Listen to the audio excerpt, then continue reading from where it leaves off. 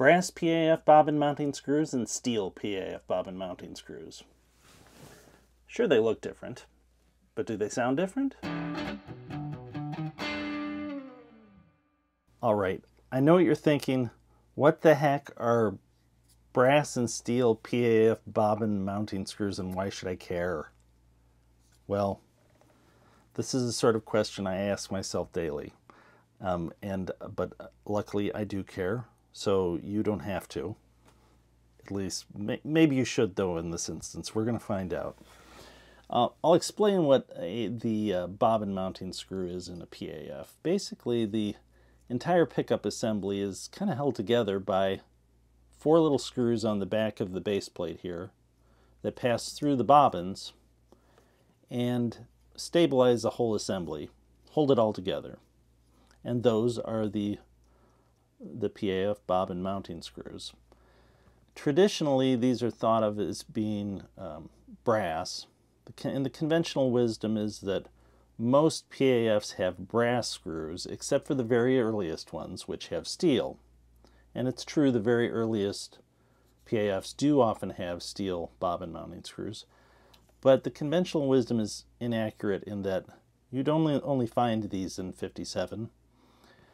There, I've I've had um, pickups from 58 and 59 Flying V's that had steel bobbin mounting screws, and I've had have had patent sticker pickups that came through, patent number pickups that came through with steel bobbin mounting screws, and there are some notable celebrity bursts vintage uh, Sunburst Les Pauls that have steel bobbin mounting screws, and two of those are the Peter Green Les Paul and the Paul Kossoff burst. Both of those have PAFs with steel bobbin mounting screws. So beyond the cosmetics, I asked the question, is there a sound difference between these? And my hunches there might be. The reason I say that is I, I have done testing with P90 soap bar pickup mounting screws, which traditionally would be brass. Um, they pass through the bobbins to attach the P90 to the body of uh, Les Paul soap bar pickups into a Les Paul, either Les Paul standard or special. And uh, I tested, I've got two versions of those screws. I did test those, and uh, basically, I think if they're made out of steel rather than brass, you now have a magnetic uh, little extra pole screw because the steel is magnetically active. You get charge transmitted from the magnet through the bobbin, and you've got yourself an extra pole screw. If they're brass, you don't have that because it's not a magnetically active metal. So, following that line of thinking, there there may be a difference with the steel and the brass. Now these are much in a PAF. These are much smaller in a, a PAF than they would be in a P90.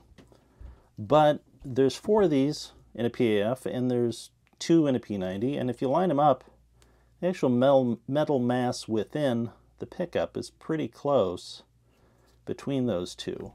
And these pass right through the bobbin from the base plate through just nearly to the top of the bobbin there.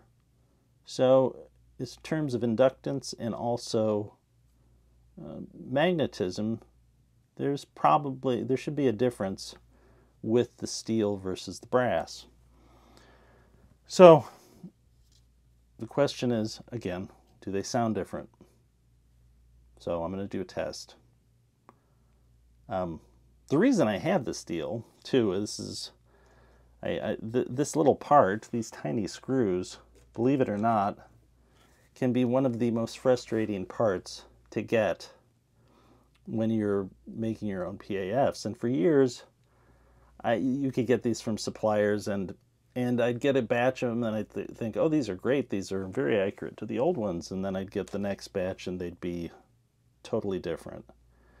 And uh, at some point, I decided, forget it. I'm just going to get them made by the screw supplier or screw manufacturer I have, get my own tooling for the thing, have them made accurately cosmetically and have them so they have really nice Phillips head tops there so they really grab the screw. So I did that with brass. And I thought I'd kind of like to have the steel, but didn't really have any motivation to do it until recently I had the owner of the Paul Kossoff burst ask me to do a um, copy of the pickups in his guitar in the Paul Kossoff burst and making that reproduction, I thought, well, what better time to have these screws made? So I had nickel plated steel uh, bobbin, PAF bobbin mounting screws made with the same tooling that I have my brass ones made out of.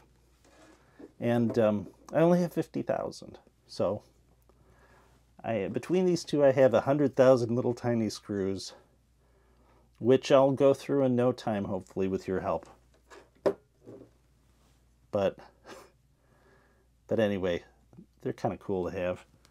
But it'd be nice to know, is there a difference between uh, them sonically and not just cosmetically? So what I'm going to do is I'm going to uh, do a similar test to what I did with the the uh, internal and external start wire.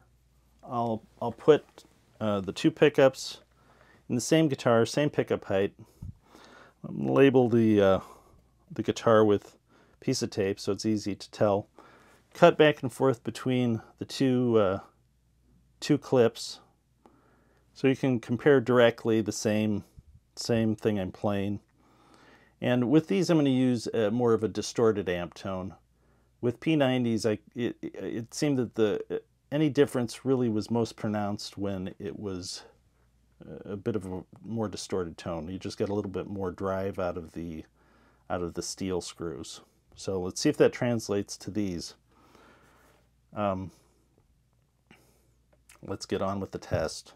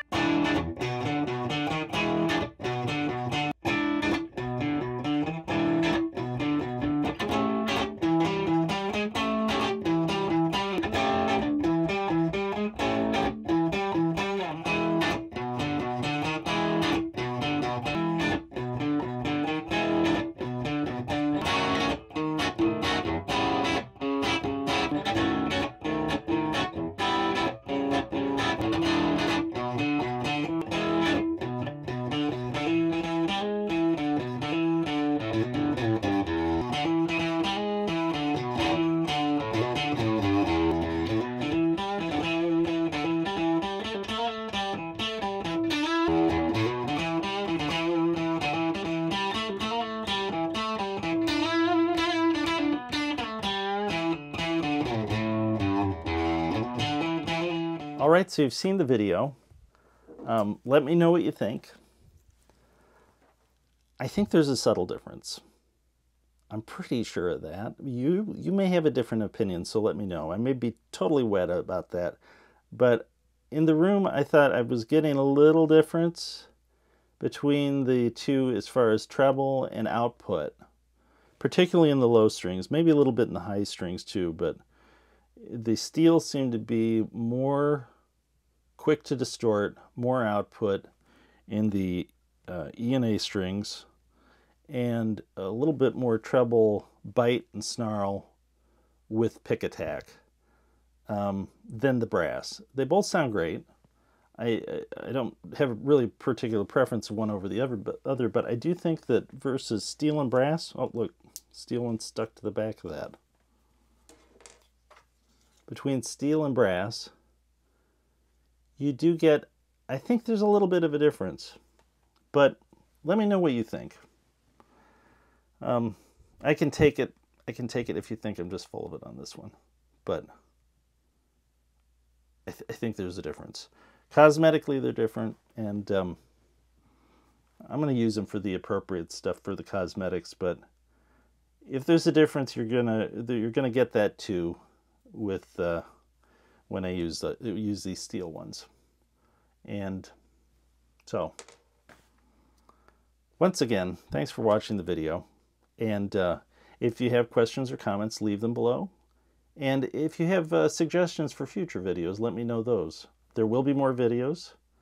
Subscribe to the channel if you get a chance, and click the bell if you want notification for future videos. And once again, thanks for letting ThroBak be part of your search for great guitar tone.